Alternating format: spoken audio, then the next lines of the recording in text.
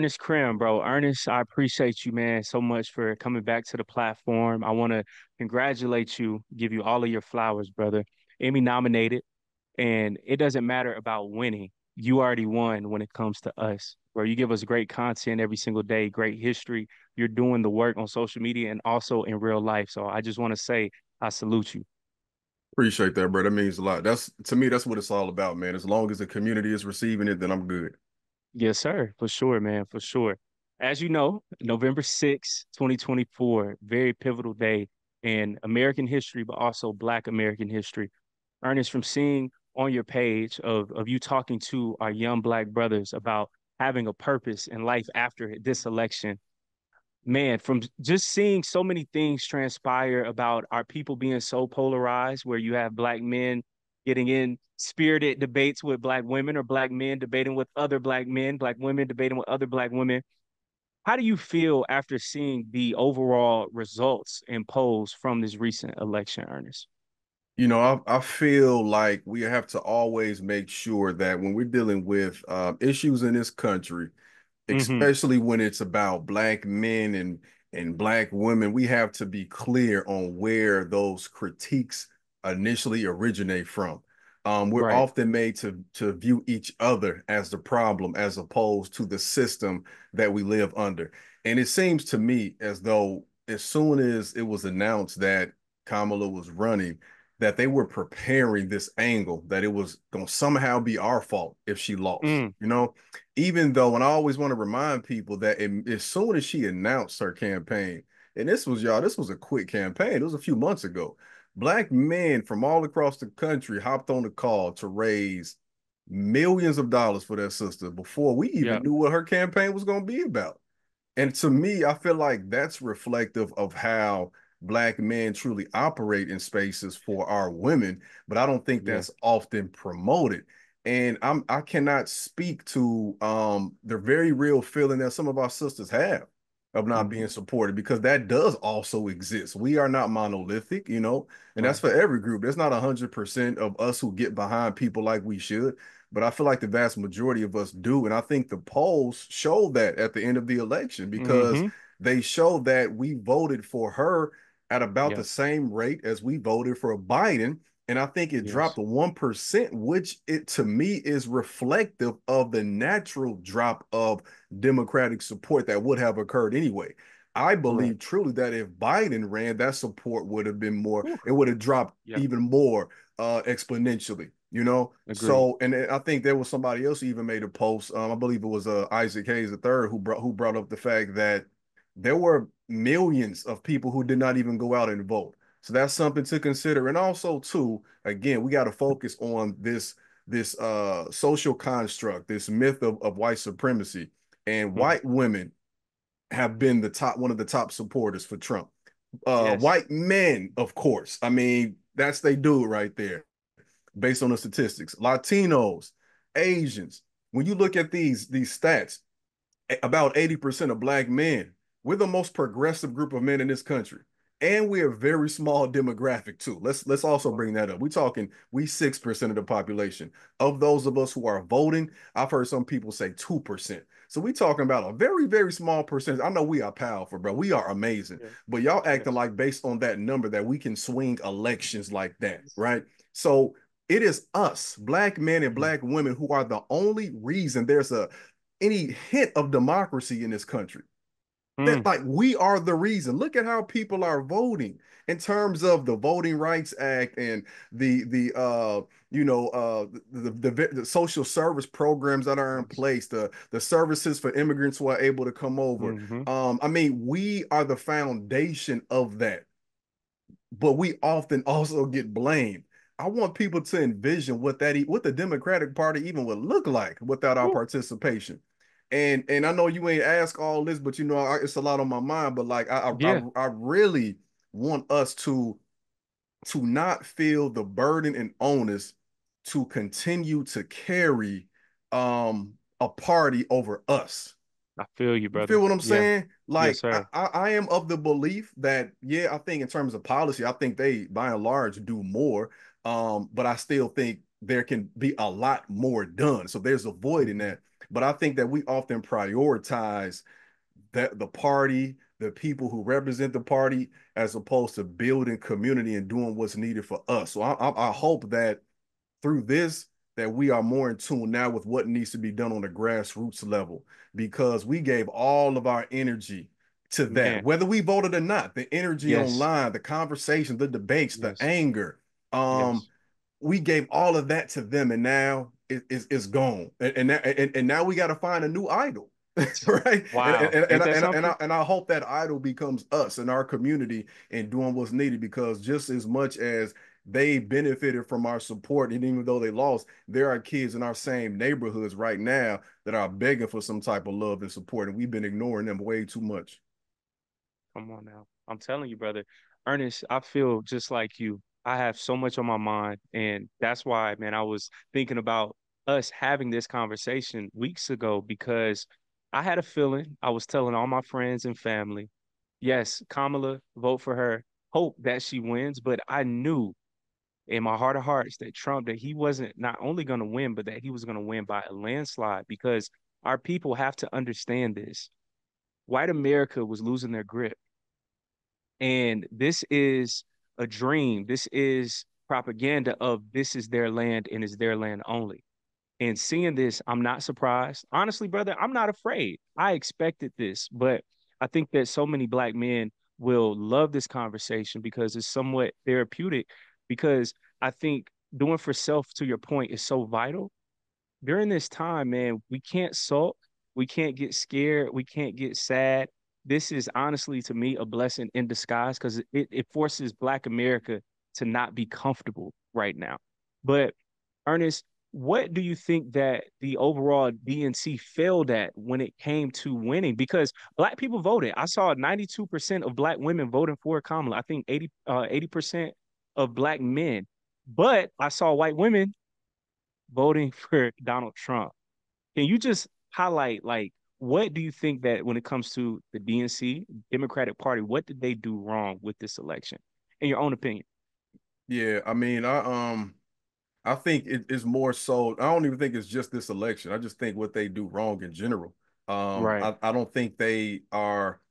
I don't think they do well with messaging. Um, you know, because I, I hate to even put myself out there and because I don't I don't really like the way we have our structure set up with these parties. But right. I think that if you look statistically and you look at the legislation and like those who have been so-called liberal minded, whether they used to be Republicans back in the day of Lincoln or the Democrats more recently in our lifetime, they mm-hmm. have passed things that have helped us helped us more than any, you know, the other party, the other major party, Republicans. But like people don't know like what they have done that has helped us because the messaging isn't well. And what I mean by messaging is people voted for Trump not because he's actually going to do anything. We know, like again, statistically, the economy is has been better under Democrats based on statistics, but Republicans advertise themselves as a party that's about money and helping people get wealth and things like that. When that's just not the case, it's for certain people, but they don't lean into that they spend a lot of time chasing him and telling us how they're not like him. But if your identity is resting and is based upon not being like somebody, then you can only exist as long as that thing exists. So once Trump is gone, because he can only do two terms, then who will you be? He's he's he's he got some mentees, man. The JD Vance selection was strategic. Yes. This bro yes. about probably about he's a little bit older than me. Like that's wild to me because of how he too, carries himself. Man. He's next. He next. So he, yes. I think he might be 40, early 40s, right? Yeah. if Trump is 80, imagine Trump getting started at this at 40. And then Trump, they put in more, not just the Supreme Court justices, because they probably gonna have two that retire, but then all the hundreds of federal judges. Y'all, just mm. like to be real, we cooked in terms of the the political political aspect of things. That's like so the DNC probably should have been listening more to black people probably should have been listening more to black men and what they've been saying. Probably should have been listening more to advocates uh, for palestinian liberation. Probably mm-hmm. should have been listening more to the progressives and things like that. Um if like again trump made people feel like he did something because he didn't want to give checks but when he eventually did he put that stamp on it. Um he he benefits y'all because he like it's probably gonna sound crazy, but he keeps it real even though he lies. It's hard to explain. Like he, Yeah, he, he I feel he- you. You know what I'm saying? Like, and, Yeah. and bro, most a lot of folks in this country, this is not just our, this is a lot. This mm-hmm. is the American culture. People ain't making choices based on what's best for them, bruh. We not, we not saying, you know what, based on this data, I'm gonna choose this. No, we going, I got a feeling. That's a vibe right there. It's like, no, that's Mm. gonna kill you, but I, it feels good. And we Mm. addicted to that, bro. We have a hyper individualistic society, and and and people want to know where am I gonna get my next check? And listening to somebody who is a billionaire, probably mainly off donations at this point, but is a billionaire, sounds better than listening to um a black woman who we perceive to be out of touch with our culture or and that's within our community. But then there, there's also the, the the segment of the population that would never want to listen to a black woman. We got folks, bruh. I know black women who catch hell but when they become a boss, a manager over some white folks, especially white women. So I was thinking the same thing you thought. I'm like, man, Hillary Clinton couldn't even convince white women to vote for her. So we think we made a well, not we. We think they made enough moral progress to say, Mm. well, I'll let this black woman preside over me. Ain't no way in hell they was going for that, man. So the DNC, I think they had to realize they got whooped. And I don't think that's a Kamala thing. I think that's a cultural thing for them. Yeah. They've done harm, but they've done better things than Republicans have done. I mean, for instance, I don't think I would have to, I, I wouldn't be as concerned about social services leaving with Kamala. I wouldn't be as concerned with education not being funded with Kamala. But with that said, there's more they can do. So they have to lean into what they've done, I would say, and then also listening to your critics. These people, we ain't hating on y'all. I don't envy, I don't want to be one of y'all. I, I don't want to be a politician. I don't want to be a Democrat. I want what's best for my people, and my allegiance is to us. And and if the party is going to show what they're doing, what they're promoting, then I'm going to lean into that for us. But then the moment y'all get off, off that, then we still, you know, like, and I think that's something they take for granted too. I think that it is there's a perception that we have this unrelenting loyalty to a party when that's not the case, man, and, and there are a lot of a lot of cities where even though our numbers have stayed the same, we're seeing a a, a shift in terms of like, well, if y'all not gonna proclaim y'all gonna do something for us, or at least tell us what you did, then I'm going to explore other options. So all in all, bruh, they got to get their marketing down. You Hmm. know, like a- again, he he benefits from the marketing, um, and also to be very clear about what you've done. And also, too, I think listen to the detractors, all those hundreds of thousands of millions of people who voted for the Green Party or did not vote or decided to sit at home. Even though it could harm them, they didn't make that choice because y'all were the best. They made that choice because they don't feel like you're doing anything for them. Mm, You know, on, yeah, I'm just saying, bro. Like, I, I, I Yeah. sometimes, I sometimes you need to take a second look at those hateful comments, not the ones that's pure malice, but the ones where it's like, you know what, that might have a point. I might have to change a little bit of how I. There's some truth in it, man. So I, I, I don't.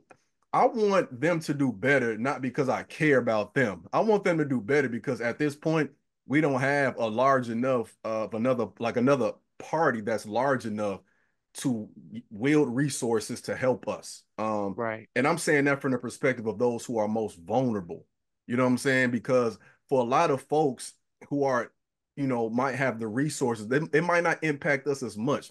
But we have a lot of our people, y'all, that are living in low income environments that need healthcare access, that need what the schools are providing. And this is truly going to hurt them. So we got to make sure they straight before we talk about what, you know, we don't want to do, what we don't want from a party. Come on, brother. And to that, to everything that, that you just said. And by the way, bro, that whole take, I agree with that a thousand percent. I think about Brother Malcolm right behind you, right behind me. And I feel like the chickens have come home to roost because we've been taken advantage of. They've assumed and unfortunately made an ass out of themselves of thinking we got this in the bag. And I think to that standpoint about marketing, right? I think about here in Atlanta of seeing Meg The Stallion on stage twerking.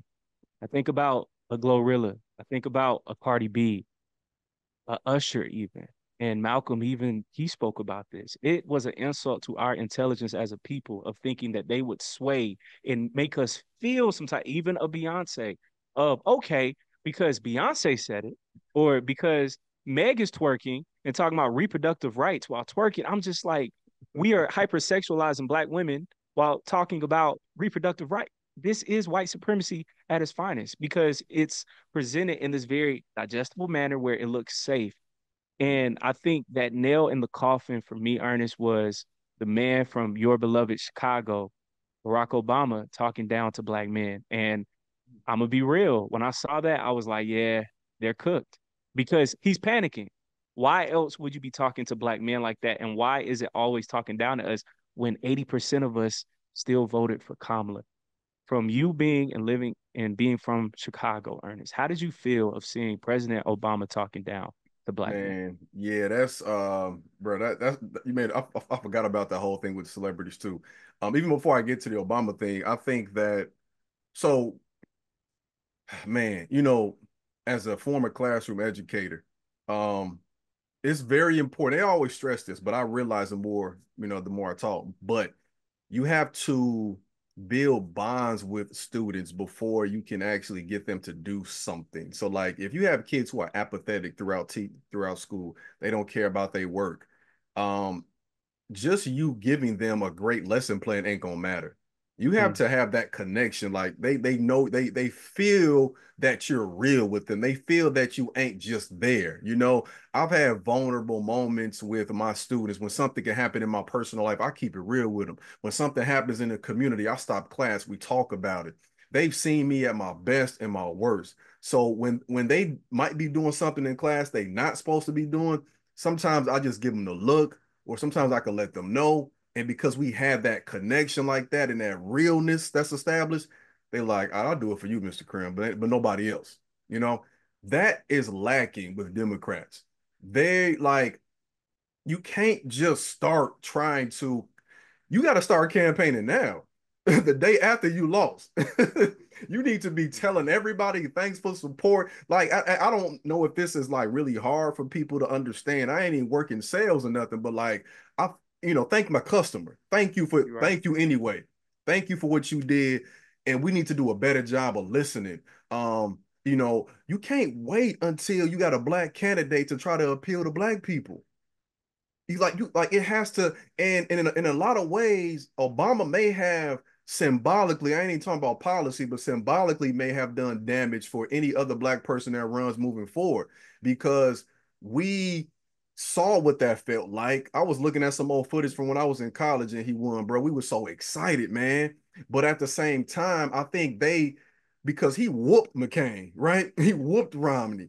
I think the belief is that, oh, okay, well, Biden, it's not working out. Okay, throw throw him the identity politics, throw him the black woman, you know, throw him a black person and a woman. Nobody can say no to that, right? Right you forget that in the whole DEI thing, it's diversity, but then it's equity, then it's inclusion. Mm. So we talk about the symbol, the person, but then the person must allocate the resources. We missing that whole aspect of this whole thing. So we don't like, and, and then you insult our intelligence again, like with the celebrities coming out, with get with with uh thinking that we just gonna run to the polls, even though again she was the best candidate out of those two parties, mm-hmm. there are a lot of folks who would feel so insulted to the point where they won't vote because they think that you're giving her to us because we ain't even gonna think critically. If we just voted because somebody was black, then it wouldn't have took Obama all you know like the 2008 to be a, to be elected. Hey, Clarence Thomas, he would have been president, man. Bro, we, we going off identity bro. We didn't we didn't rock with Tim Scott. We didn't rock yep. with Herman Cain. Like Herman Cain. We didn't rock with about Con- Herman. Yeah. Bro, we didn't rock with Condoleezza Rice. Yeah. like it's an insult. so like you again, they should be campaigning now. They lost to Congress. They lost to Senate. We ain't gonna have the Supreme Court. Jesus. Shout out to the local folks in my community, man, because we got some some black women who are progressive elected in terms of like the county nice. board, um, and, and judges as judges as well. But on the federal level, y'all cooked, man. And in terms of what Obama did, I I, I feel, you know, um, for one, again, I, I felt like it was really bogus for a lot of us to jump to the conclusion of knowing how we would vote based on polls when Hillary thought she was going to win based on polls and lost to Trump in 2016. We can't draw a conclusion based on how black men or black anybody going to do or any race going to do until the actual results come out. And who are people even polling? We don't know who y'all talking to.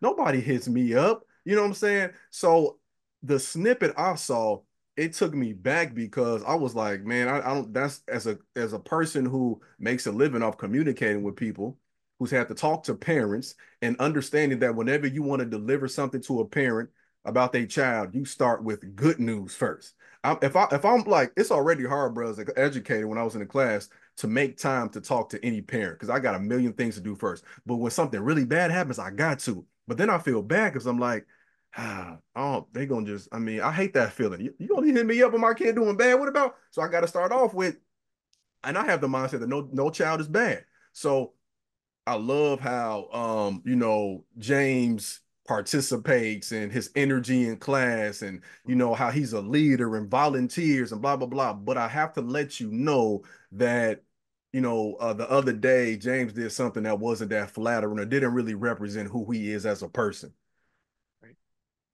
obama is one of the greatest orators in american history right in terms of whenever i speak i feel good and I again, I ain't talking about the policy. I feel I'll be like, dang, that man make me really feel like, man, I want to go out and do something. But when we saw him in that situation, I don't know who mm. was recording. They probably shouldn't have been recording and posting it, but he wasn't on the stage performing then.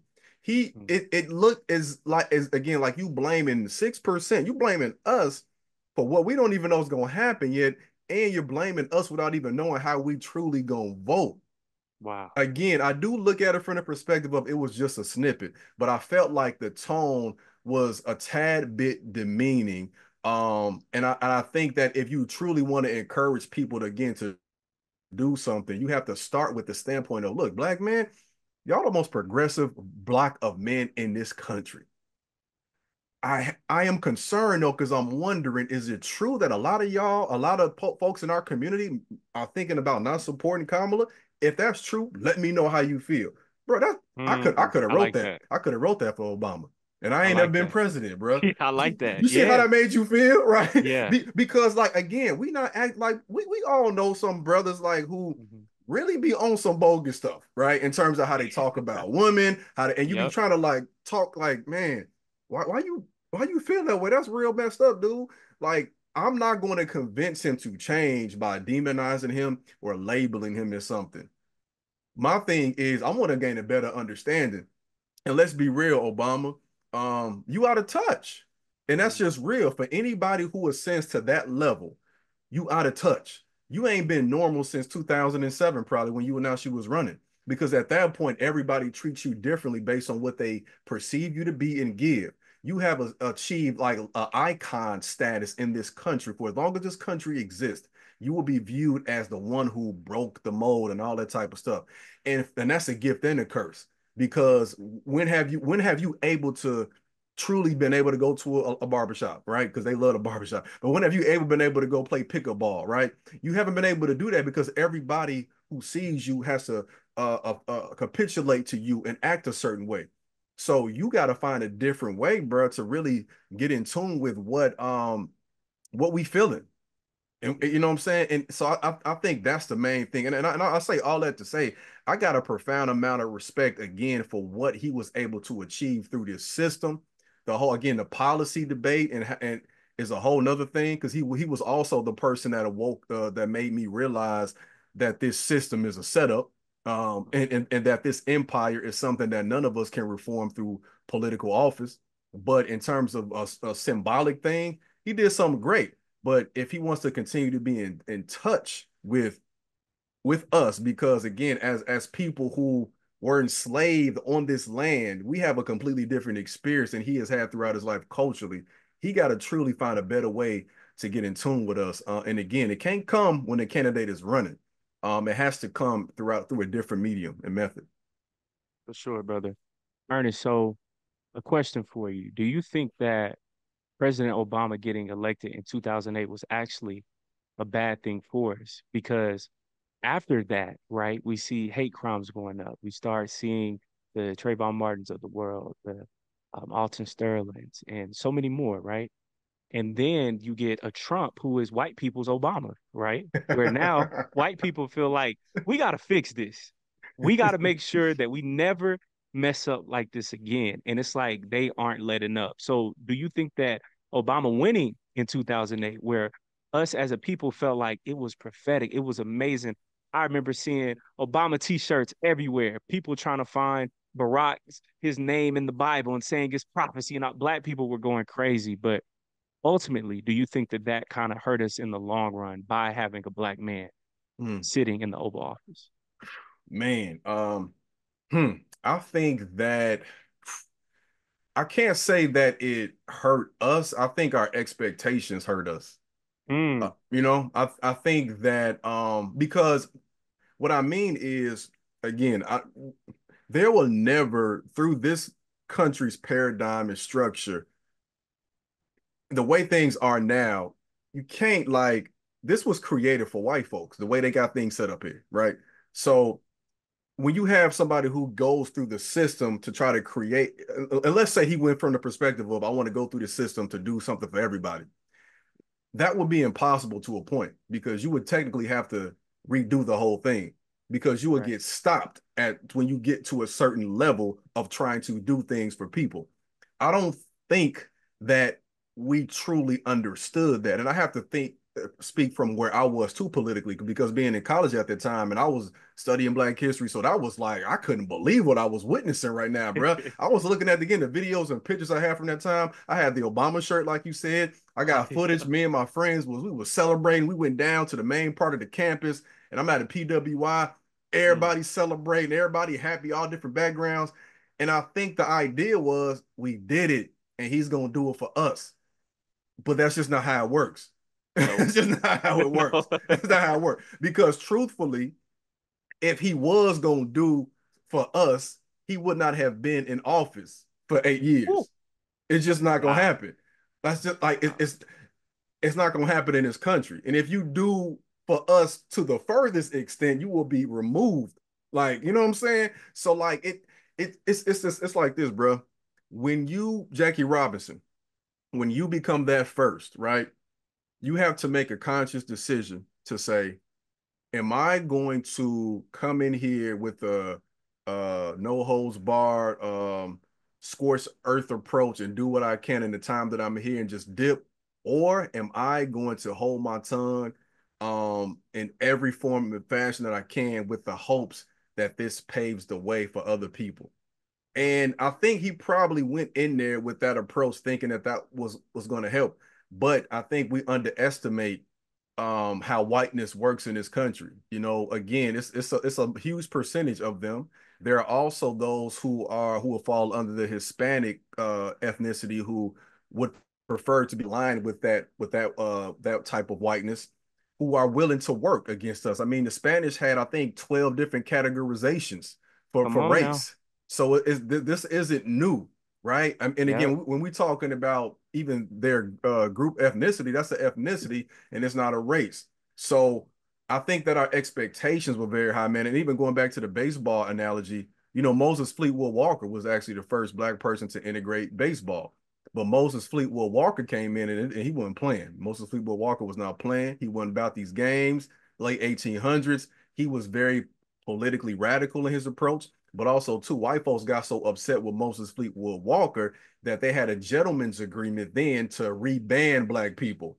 And I don't think that Obama was radical to that point like that, but I think he was viewed like Moses Walker. So now the gentleman's agreement is we can never, we never let them get any type. No, like we ain't letting you you see what happened to us. They think their whole world was caving in. But by and large, based on the numbers, what he did benefited white folks more than any other group, man. Mm. He hmm. was doing things that was helping white people. They 67 uh, percent of the population. So I think that we um to, to kind of land my plane, bro. I think that we just have to be real of what we expect from politicians and what they can do. My perspective now on Obama is completely different. I still wish he would have done more for us. Um, I, I think that we were owed that, but also I know the limitations of the system. I know how many people was trying to stop them. And I also understand that I can never expect a politician to do more than I expect from of myself and my immediate community. And we have been uh, drunk, I think, bro, and intoxicated with the image of a Lincoln, the image of even a king, the image of Obama, um, our saviors in politics outside of king, as you want a politician. But we we keep because con- we're fed this through the individualistic scope of America. We are communal people, but we're fed individualism. So we keep thinking, well, we got to have that person. We got to, oh, maybe Kamala, or maybe it's Obama, or maybe it's going to be him, or maybe it's, no, it's not. It's, it's not. It's going to be us, bro, because the collective yeah. that came together is what elected Obama. And that's that same collective that got on that call for Kamala. And it's that same collective that can come together now and not for a politician, but for us. And the mm. question is, will we do that without being um, provoked to do so? Man, hey, this conversation is much needed. It's heavy. I'm enjoying this, Ernest. Now it's about to get even deeper because, bro, you had mentioned something that a mm. lot of people would have missed culturally of our people being enslaved in this land. And I find something eerily similar between Barack Obama and mm-hmm. Kamala. And yeah. anytime that we as black people who have or four, fifth, six plus generations on this land bring this up is that when these people who are presented to us to represent us, we notice that they don't have a lineage tied to this land. And I don't think that that's by coincidence at all. Um, and when we are brought uh, Barack Obama, a Kamala Harris, they're black, technically, yes, but they don't have this same experience as us.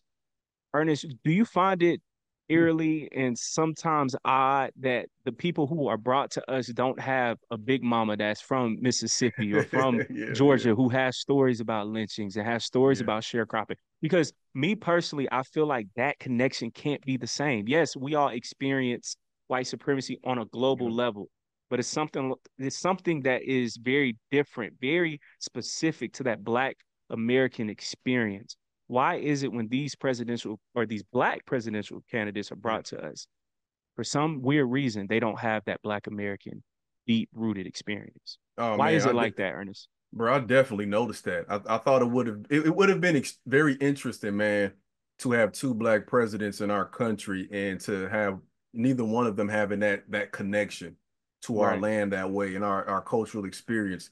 Um, I think from a and I'll, I'll make that like a pop culture analogy where you have heard um, actors in Hollywood talk about being overlooked, you know, maybe by British actors, uh, uh, other foreign black actors, and there's always this this wonder of like, how, why aren't y'all trying to? Why aren't we getting the same opportunities that they get? What's going on with us? And people would speak about the fact that they felt that having that person who is separate from our unique cultural experience would make them easier and I want people to really catch this easier to work with when doing certain movie roles. And being easy to work with, that's not necessarily a compliment to the person. You know, being easy to work with, it depends on what you're trying to do. Being easy to work with means that you could potentially, because you don't have that same cultural lineage or linkage, means that you might be look over some things or certain inaccuracies or certain uh, um, omissions from telling the story. You know, you think about the critiques that um, I think her name was Cynthia, who played Harriet Tubman. Um, Cynthia Erivo. Yes, yeah. yes. Um, and Samuel Jackson, he didn't like that. yeah. Bro, I, and when yeah. I, I, when I watched the movie again some years later, I watched it with my oldest daughter, and I I was like, nah. It's the accent for me, bro killing bro, me. Bro, that yeah. wasn't it. And yeah. and I was glad my because my daughter loves Harriet. I was glad she had a visual for what that could have looked like. Yeah, yeah. But it, the energy, we again, we can feel it. We can mm-hmm. feel it, right? We ain't talking about the energy people get from Trump. That's something different. We talking about that energy. We talking about like, bro, when I, I re, I'm, I'm, of course I live in the Chicago area. I mm-hmm. remember taking road trips to the South, man, and my first time like being going through Alabama and mm. um, I one time driving was actually headed to Florida, and I saw a plantation.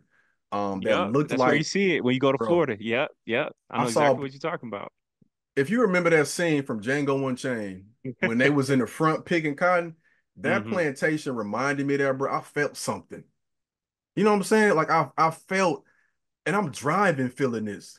When we we took a road trip to Myrtle Beach and on the way back, because my family on my dad's side was was of course forcibly enslaved from South Carolina, and I was trying to find a plantation in that area, um, as best I could that was adjacent to that county, and I went to one, and bruh, like the and it just so happened it was a rainy day, It didn't have an internet connection, I, so I had to really be in tune with everything, bro. You feel it, man I, I can't imagine living that close to a point. I, bro, I will be enraged all the time. So if you're gonna have me, if I'm gonna play somebody who was enslaved, I'm not just I'm not just tapping in from a visual perspective because I'm black and they black. I'm tapping in with my ancestors because literally the people who had to persevere and survive, that is in me.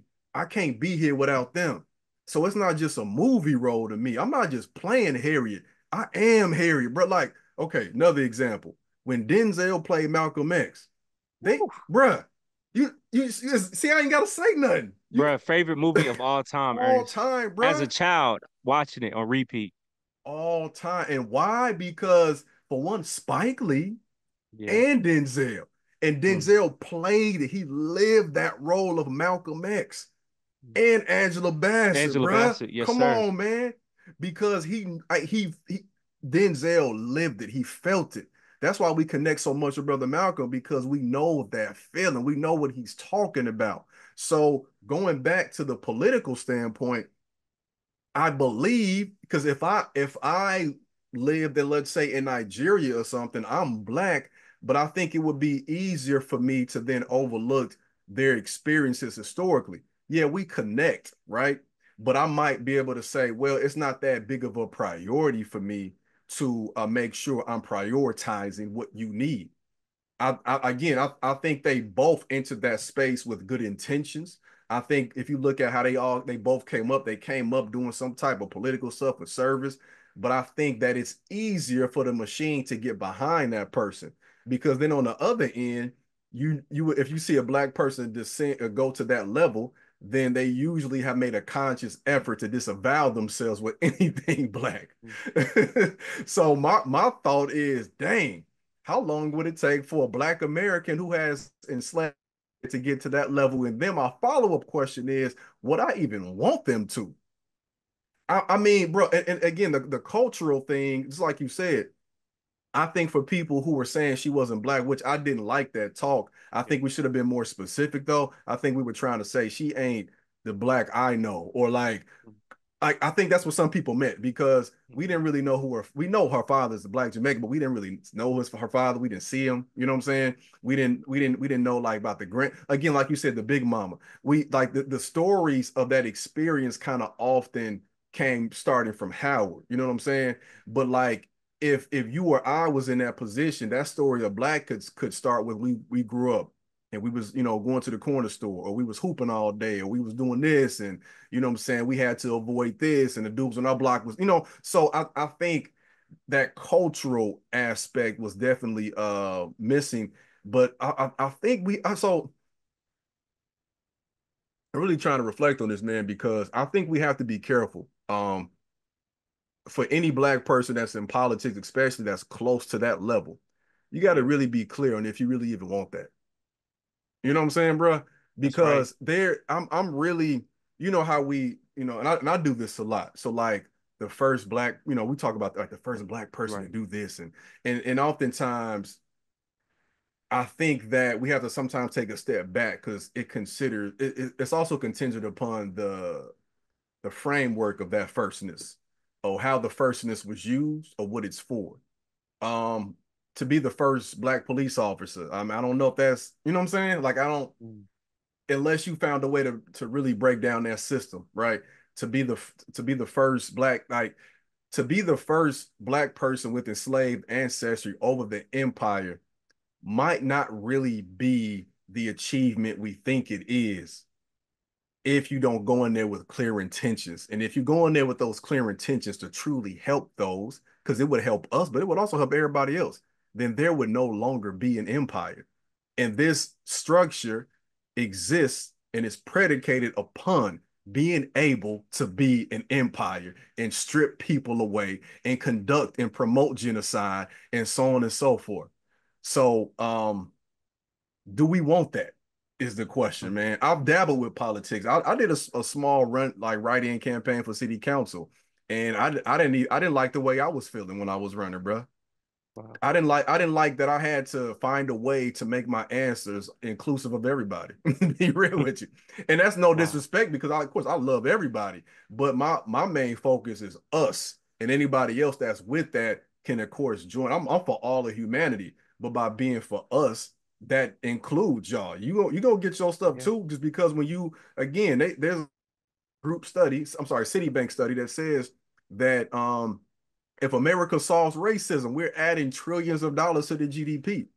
But if you want to play the game of politics, you have to make a conscious effort to ignore the very community you came from. And then what that co- and what that, I'm sorry, and at what cost would that come? Ernest, brother, you were cooking because every sentiment that you just expressed is exactly how I've been feeling throughout the past six plus months. The the overall DNC, the Democratic Party as a whole, literally just showed us that they would rather lose than have a tangible black agenda. They just showed us that. And speaking on that point, right, we will have people in positions of power with a black face, but a white supremacist mindset. And I think that our people have to get way more meaner, way more demanding because playing back clips and I know that we'll have some Kamala supporters, which is perfectly fine, engage into the conversation. But I've played the full interviews where she said that she's not going to do anything solely for Black people. That statement is not out of context. I mm. played that entire interview. Mm. I've seen her entire interview and clips of her literally expressing that America is not a racist country. And that goes to your point of having to compromise. Man, why do you think our people sometimes don't get pissed off enough? Because if this was the white community, this was other communities that I cannot say, they will they will shut that down, Ernest, that day. And they know not to even talk to them that way. We've heard leaked phone calls with President Joe Biden talking to Al Sharpton, the Black Caucus, telling them that y'all need to play nicer and play better with Hispanics, that eventually they will replace you guys, potentially. Joe Biden telling us that we aren't black if we don't vote for him. And we're still voting for these people blindly. What will it take, Ernest, for our people to realize yo, we have to draw a line in the sand because, brother, I'm tired of it. I'm tired yeah. of seeing our people getting talked down to. I'm tired of yeah. our people not being put on any type of black agenda. And yeah. one last thing as well, I'm tired of seeing us being put on the back burner. I saw Donald Trump show up to the NABJ conference and Kamala Harris show up later. Mm-hmm. And that to me said a thousand words because I'm like, black journalists aren't a priority to you. But mm. I'm off my rant. But what will it take, Ernest, for our people to finally say, yo, these people are wilding out. They will crash out. They will crash out willingly yeah. before giving us a black agenda. Man, um, wow, yeah, yeah, I feel that, brother. I feel that. I I think that I it's almost like I'm not I'm not sure about your your work background, but like mm-hmm. if you've ever had a job where you feel like you've had to compromise who you were for eight hours for sure. just to make yeah. a living. Um, I feel like I don't. That's what politics is like in this country, um, in a lot of ways, and it's really it's almost like the the higher the level you go to. So like if you like school board, maybe not as much, right? City council, maybe not as much. Anything that's in your immediate community, you probably could do a lot more, especially when they don't even have a political party attached to it in city politics in most places. But once you start, you're talking about state, you go into the state government. Okay, got to refine that image a little bit, right? and then you talk about going to the federal level, right? When they mean by refine that image is we got to make you palatable to white people. And I, I think that politics, a lot of politicians, not every single one of them, of course, but a lot of our politicians who look like us, go into this saying, well, if I sacrifice just a little bit, I can get there. And then when I get there, I'll do what I can for us. But survey says that don't happen. That don't happen because as you do that, you you you really stripping apart from your soul each time you do that. And I think the lesson that lesson for me began with Obama again, um, with um uh, Reverend Jeremiah Wright, who was someone who was, you know, very close to my family. That, Man, yeah, bro, like wow. Jeremiah Wright, like again, it's, I always, I always tell people it's personal for me because for one, he's done so much for the South Side community. He ain't from Chicago, you know. He's done so much for us out here. He mentored my pastor growing up, so that I grew up in a very Afrocentric Christian environment. Um, who that and that same pastor mentored my mom. Reverend Jeremiah mentored my father. I talked to my father about it one day. He told me Jeremiah Wright literally saved my life by providing me guidance. And and and without Jeremiah Wright, there is no political career for Obama because for him being able to get ingrained with that South Side community at Trinity, and that's a South South Side, man, that helped him refine his image. So I saw that when he was going to that level, they unearthed that clip, which was 100% fact, and he had to disassociate himself.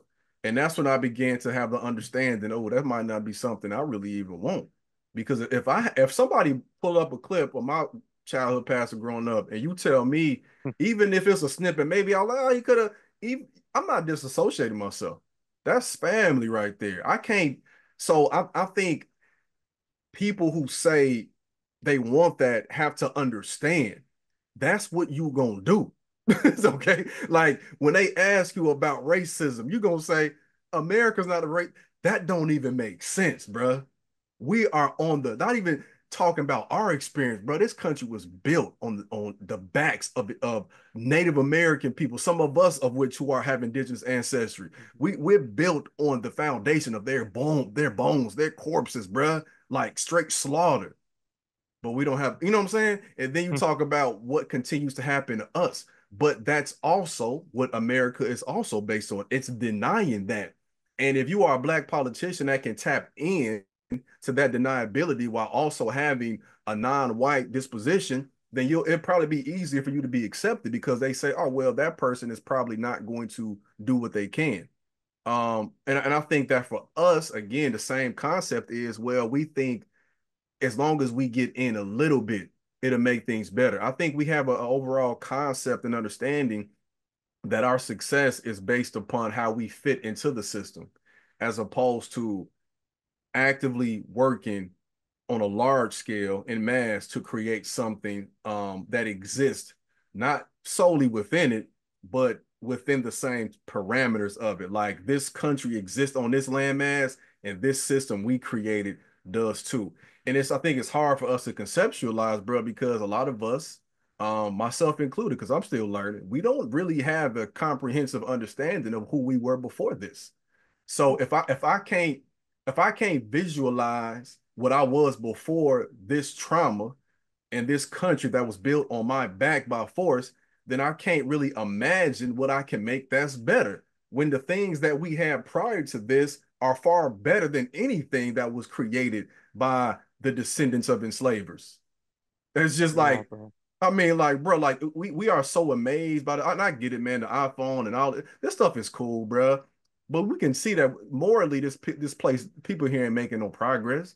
We mm-hmm. we keep measuring progress by gadgets and technology. That's the problem. That's so, insane. We we we got we got to continue to unlearn the inner workings of the white supremacist ideology and realize how much again the very fact that we celebrate Dr. King but can't probably name five people in his inner circle that's a white supremacist ideology of of of, of uplifting the individual as opposed to the community I, I, had to really figure this out, man, because I would do a lot. I would, whenever I would see a, a the first white person to do something, I'll be like, of course, what we do, right? I know we did it hmm. before mm. them. But you find that very often, you're not going to be able to name an African person because we didn't always name the people who did the thing because it was a community thing. We didn't feel honor in that. Like, because it wasn't just us. The same thing about Native Americans. You ain't gonna find in history indigenous people real estate owners we don't own the land, right? We yeah. like the, the, the number one real estate developer. Oh, bro, we don't own this land. We're borrowing this land from the divine. Mm-hmm. So we gotta strip it away, strip it away. And, and in all honesty, man, like I I I just I I feel like we have to use this as an awakening. Um, and like you said, it could bless it in disguise and go back to to to the ground level and say, what are we doing here? Mm-hmm. Where are we going? How are we going to get there? And what role does any politician play? Because they can't do it all. They won't do it all, and I don't want them to. I mean, I got a lot of critiques, especially for Obama. You know what I'm saying? Like, but I, bro, but for real, I love Obama. I love Kamala and what they've done and what they've done for us in my awakening. Because I think more than any other uh, individuals in our country's history, they will help us realize that they were not ever in a position to be, or even trying to be, the people we think they were in terms of a. I think we thought they was gonna be Harriet or Rosa. It's not the same. That's not the same, bro. LBJ only did it because of King. We want kings. LBJ is whoever. Any any white dude could be LBJ. You just got to feel this pressure. We need the Harriets, the Rosas, the Denmark Veseys. You know what I'm saying? Like we we mm-hmm. we need people like that that we mold our kids to be. But as long as we keep thinking from a white supremacist framework, we ain't gonna believe a person could be that unless they have a certain suit and tie, a certain job description, a certain test score, a certain salary, bruh. Those folks are right here in our community. They down the street at your school. They hanging on the corner. Matter of fact, those are the folks that probably got more potential than us. they the ones who are probably most revolutionary because they like, I ain't yep. doing nothing with this system, bro. nothing, man. Man, Ernest, bro, this conversation so therapeutic for me, brother, because of just talking to you is a breath of fresh air because either some people are too far over here, too far over there. So hearing this, man, is music to my ears. And I think about another icon in Chicago. Y'all have so many icons. Minister Louis Farrakhan, who had met with President Obama. He protected him by not even making that picture public until he was out of office. And I'm like, President Obama, he's not gonna publicly tell you that he met with Farrakhan in mm. Chicago. But to your point, Jeremiah Wright, all the great works that he's been doing, man. And it might have been uh, Dr. John Henrik Clarke or Asa Hilliard, I think. But if they had once stated, if we judge everything post 1619, everything looks like progress. Yep. yep and that's a Dr. big Clarke. mistake for us. Yep. Yep. That's a big mistake for us because to your point, we're we're always thinking of we've made so much progress. President Obama on the pivot told them we made so much progress. But I'm like, what's the starting point?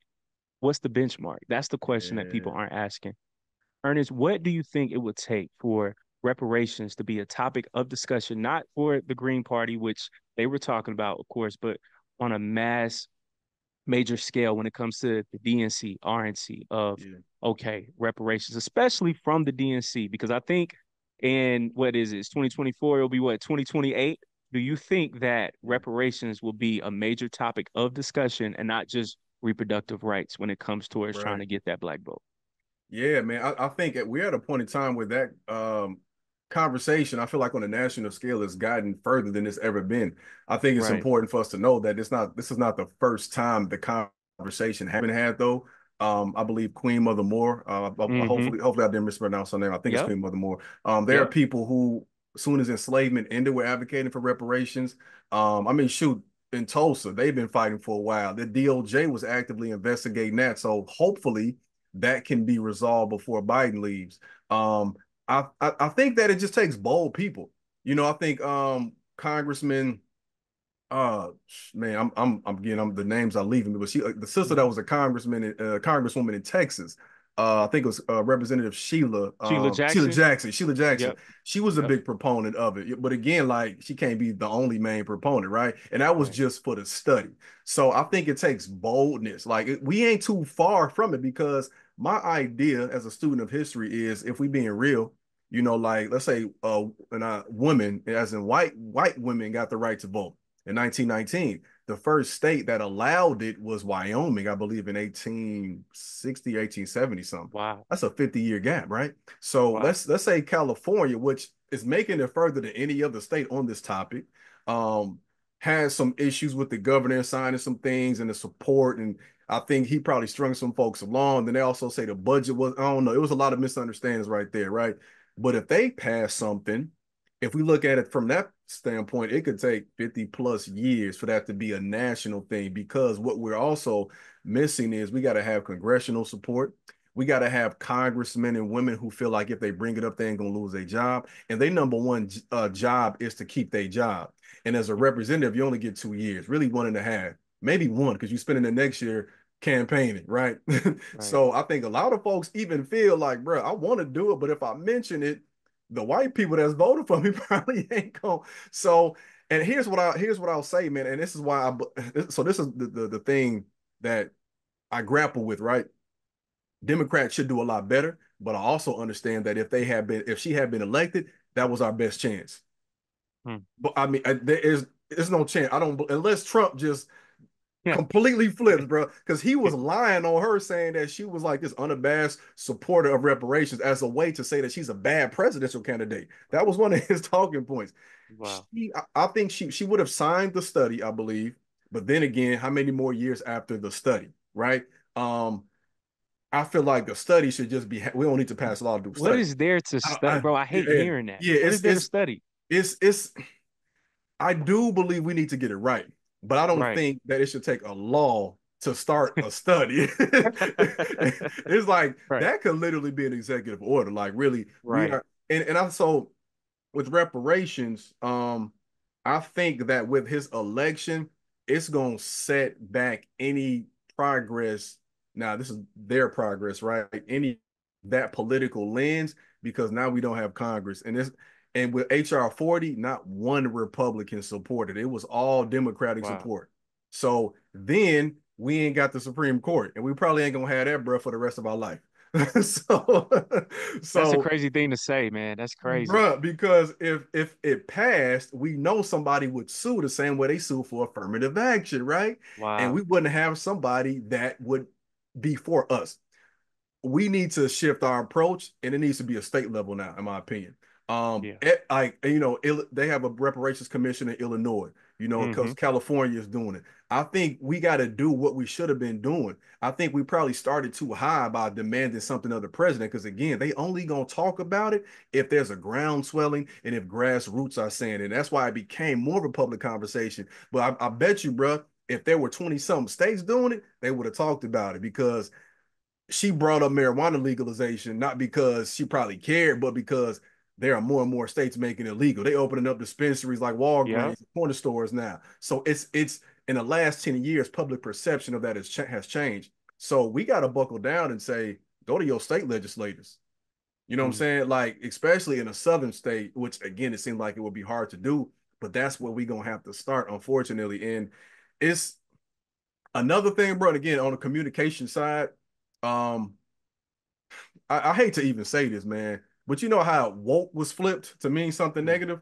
Reparations is always going to come across as some welfare type policy to the masses. All right. We know it's not. But if we're going to demand reparations, it has, if it's, that means it's going through a system, and that system also includes white people. We know we owe because even if you came here after enslavement, you benefited from what we was forced to do. So you owe me Correct. for that. So what you talking Correct. about, right? But again, messaging Republicans do a great job of making us believe something is bad that's actually good.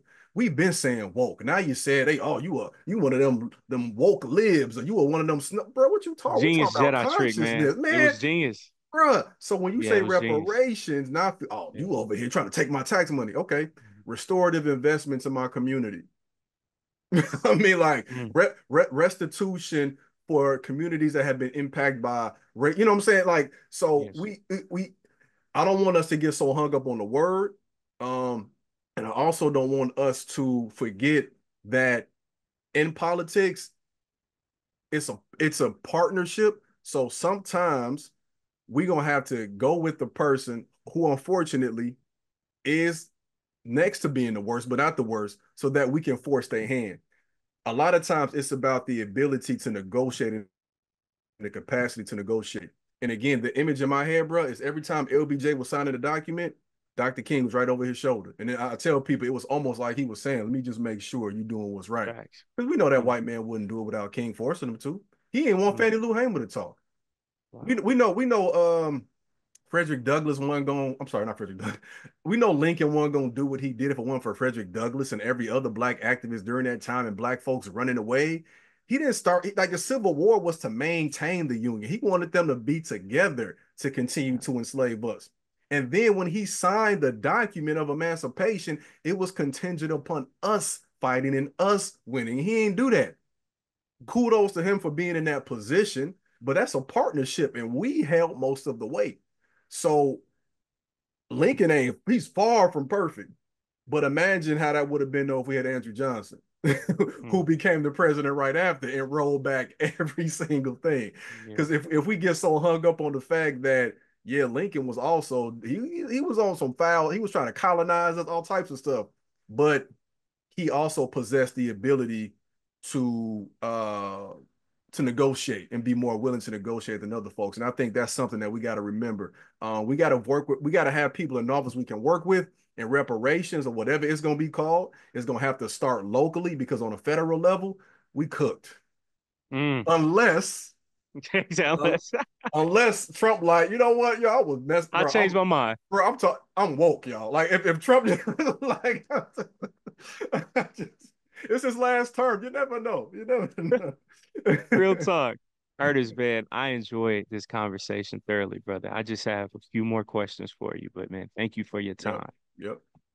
Last night, I'm watching all the political talk shows. I'm watching Fox News, CNN, and something told me, let me check in on Roland Martin Unfiltered. And Roland, I have my own critiques of him, but I just wanted to hear that perspective from our older Black community, right? Mm-hmm. Our Black elite, somewhat. Mm-hmm. And for the first time, I'm hearing Roland and his colleagues as well finally admit, hey guys, we might not really have a black and brown coalition like how we thought we did. and Hispanics might be white adjacent, which is something that I've been saying for a long time. I've had friends whose parents are Hispanic and they're the biggest Trump supporters, and they could be immigrants, and they're like, we don't want immigration. but Ernest, do you believe in your heart of hearts that there is no black and brown coalition? Because from everything that I've seen personally, I say no, but how do you feel about it? Yeah, so that's a great question, man. Um, I'm, I'm I was uh I was laughing too because I was looking at this post from somebody on Threads, and this lady said, um, and I quote, "I'm fresh out of mm-hmm. advocacy for anyone who ain't black. Figure it out yourself." Close quote. Um, I mm-hmm. think that sums up how we all feeling, man. So I'll start by saying I've seen I've seen a lot of it. I've seen it work before. Um, I I think that black and brown um, unity is is probably the wrong phrase, phrasing though because for one mm-hmm. historically you know they weren't referred to as brown that was something you know right. but that's a whole nother conversation but i think we need to look at it more so as an ideological convergence i mm-hmm. think we perceive that people who have also dealt with racism like us but not the same level of course just more so in terms of how they're viewed not the historical experience would naturally join with us. And some have, right? I can't put a certain number on that in the community I live and where I taught. I've seen it. But I've also, like you said, I've, I've, I've felt and seen the racism. I've had students tell me that they younger siblings had racist thoughts about black people and how horrible they felt. You know what I'm saying?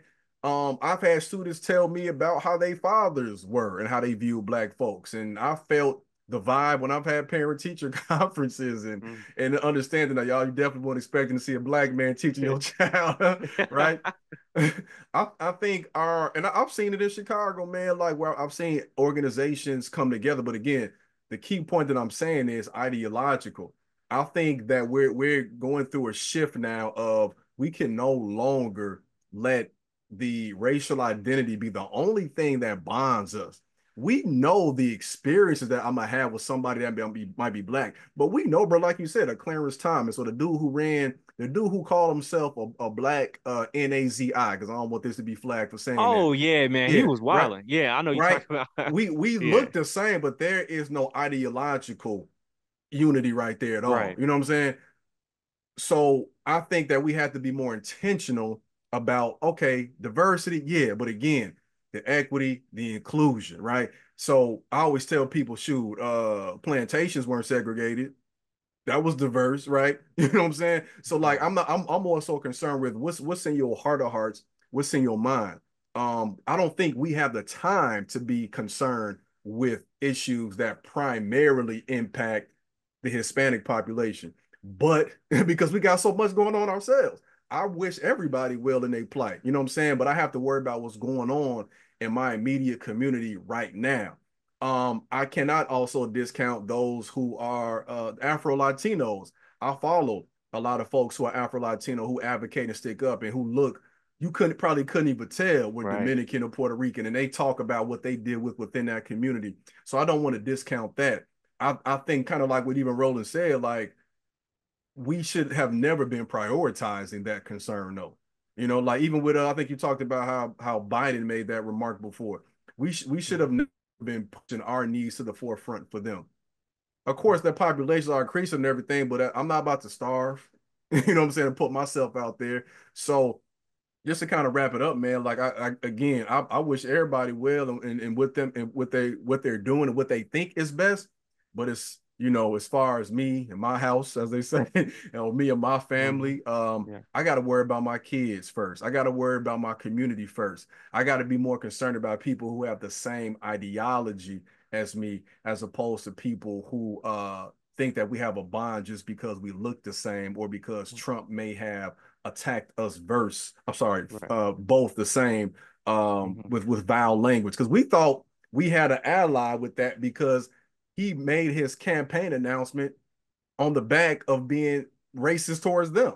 We was yeah. like, oh, bet, like not everybody can see it. And we probably went harder against him because of that hmm. than they did. See, what we have started to probably realize and probably should have already understood, bro, is racism is probably only a deal breaker to black people.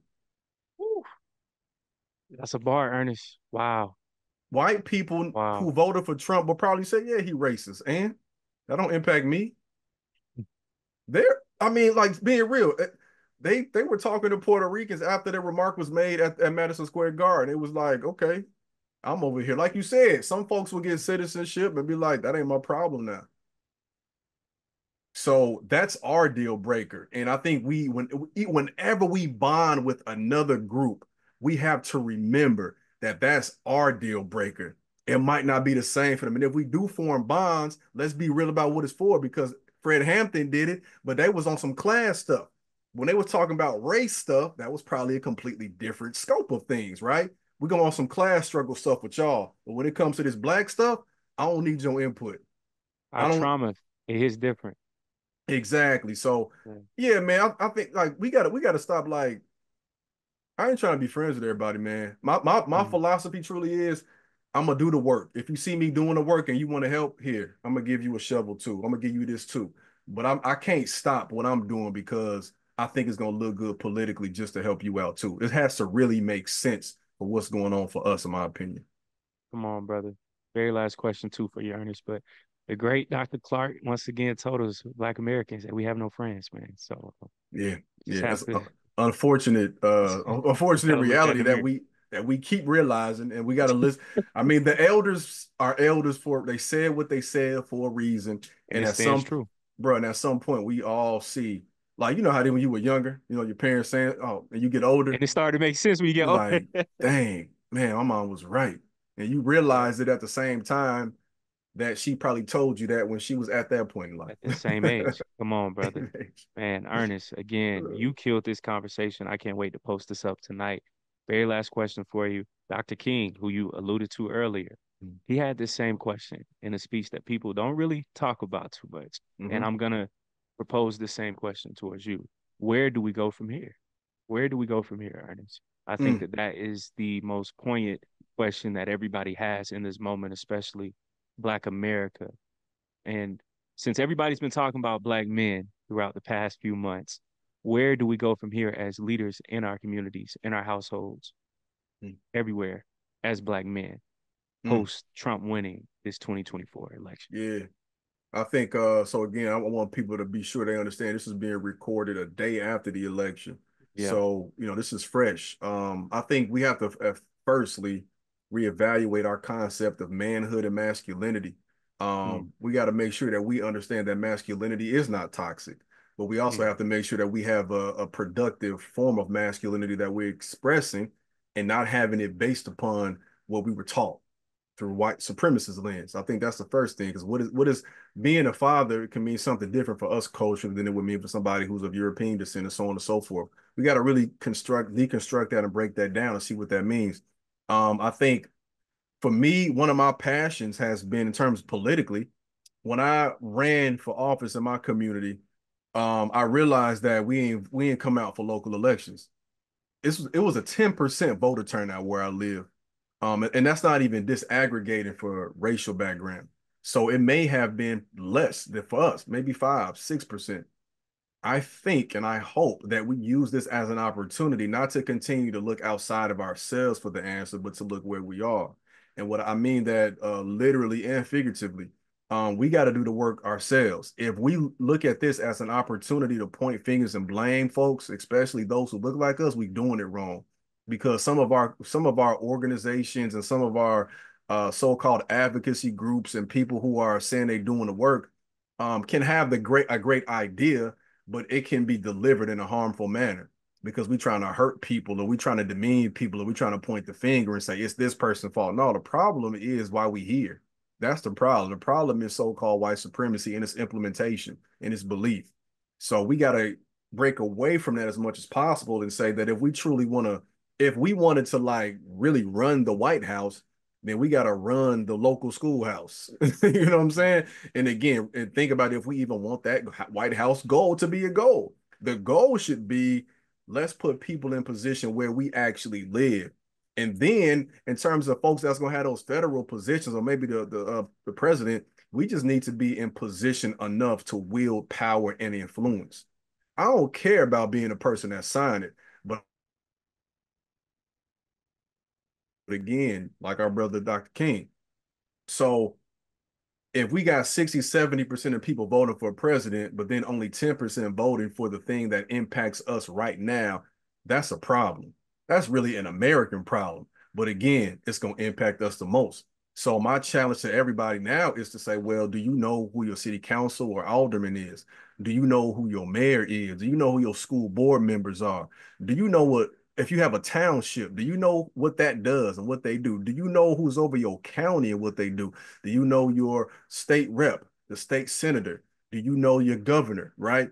The challenge is not to have these things memorized, but to have a place you can go to find them and also know when you have a complaint or issue who to go to for Be on a first name basis with them. And if that's difficult for you to do, form a small group of people in your community and rotate this week you contact this person. This week I will. This week you go to that meeting. The squeaky wheel gets like what, do they say? The squeaky wheel gets the oil, right?